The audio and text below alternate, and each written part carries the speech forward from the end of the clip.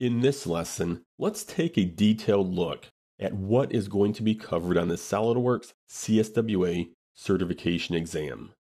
First, a certified SOLIDWORKS associate is an individual who has successfully passed the SOLIDWORKS Fundamental Skills examination. Each CSWA has proven their ability to design parts and assemblies using a variety of core features in SOLIDWORKS. Now, what skills does it take to become CSWA certified?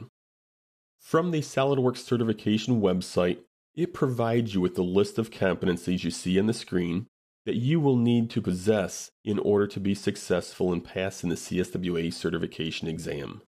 You must have a good foundation in sketching. This includes sketch entities like lines, center lines, the various options for rectangles, circles, and arcs. You should also be proficient in sketch tools like trim, convert entities, offset, and mirror.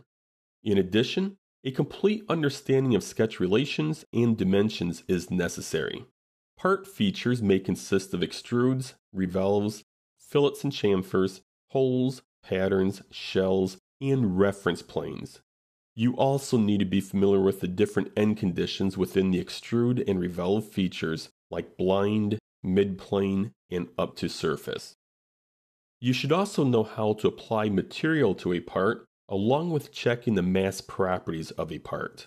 As far as assemblies, you should understand how to insert components along with experience in applying standard mates like coincident, parallel, perpendicular, tangent, concentric, distance, and angle. In the assembly environment, you should be familiar with reference geometry like planes and axes. Finally, understanding the different drawing views in the drawing environment is also required. The actual CSWA certification exam consists of 14 questions. There are a total of 240 points, and you will need 165 of the 240 points in order to pass the CSWA exam. And you have three hours to complete the exam. As I mentioned a second ago, the CSWA certification exam consists of 14 questions. Three of the 14 questions is dedicated to drafting competencies.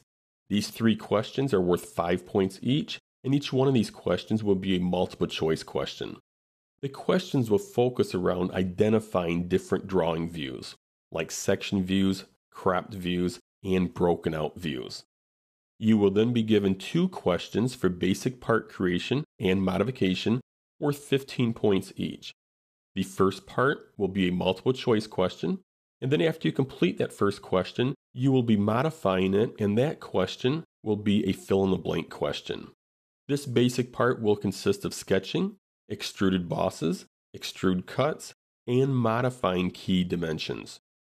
You will also be given an intermediate part this part consists of two questions worth 15 points each, and once again, the first question will be multiple choice, and the second question will be a fill in the blank question. This intermediate part will consist of sketching, a revolved boss, an extrude cut, and a circular pattern. The advanced part will consist of three questions worth 15 points each.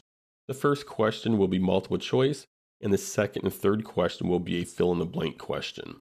This part's more complex, so it will consist of sketching, sketch offsets, extruded bosses, extrude cuts, modifying key dimensions, and overall it's going to be more difficult than the basic and intermediate part. You will finish up the exam with four questions for assemblies. Now you will be given all the parts to download and you will be building two separate assemblies. The assembly questions will consist of multiple choice questions and fill in the blank questions. You will be required to insert components, apply mates, and modify key parameters in the assembly. So this gives you a detailed coverage of what the exam consists of. Now let's move on in the lessons and prepare for the CSWA exam.